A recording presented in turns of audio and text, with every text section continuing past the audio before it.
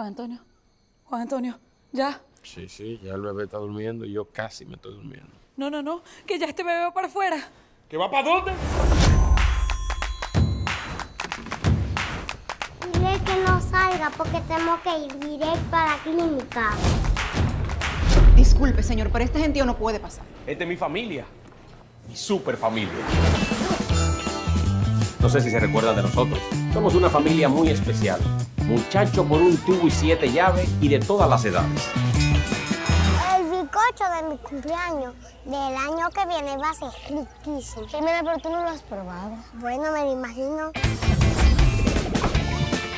Tenemos un grave problema. ¿Las ventas quién las está manejando? Él. El dinero. O sea, todo él. Pero bueno, Juan Antonio, ¿en qué estabas pensando? Pero el tipo te está demandando a ti. Y con esa demanda, ¿qué tú vas a hacer? Lo lógico es que si me están demandando, yo me consigo un abogado. ¿Cuál abogado? Tú lo engañaste. Al revés, el engañado aquí soy yo. Pero ¿cuál es el objeto? Objeto. No, no, no, aquí no hay papeles. Objeto no hay, a menos que haya tú has traído esto incompleto, mi hermano.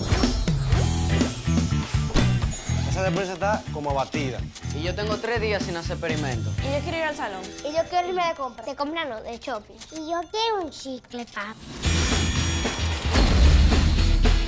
Pero no hay que discutir. Una de dos. Tú o me buscas mi cuarto o te llevas tu carro. Ah, eso es lo tuyo, ¿eh? Herirme.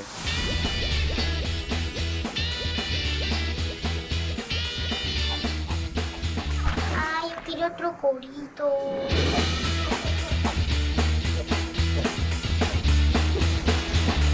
Esté tranquilo que yo tengo todo eso asegurado. Tú no vas a estar tranquilo, chamo, cuando yo te dé esa factura. Es la madre que te voy a dar, vale.